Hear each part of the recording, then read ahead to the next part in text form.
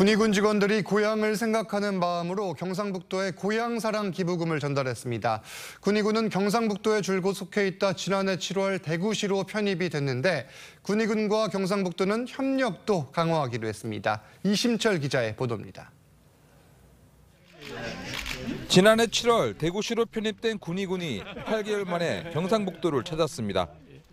군의군은 고종 33년부터 124년 동안 경상북도 관할지였습니다.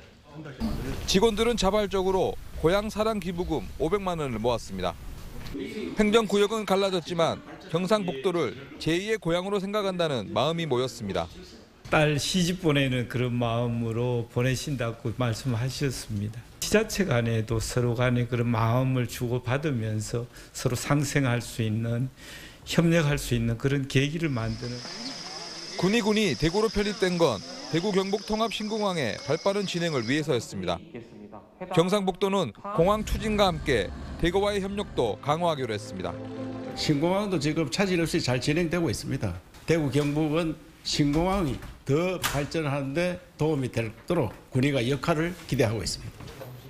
지난해 처음 시작한 고향 사랑 기부금 제도는 자신이 원하는 지역에 최고 500만 원까지 기부를 할 수 있습니다.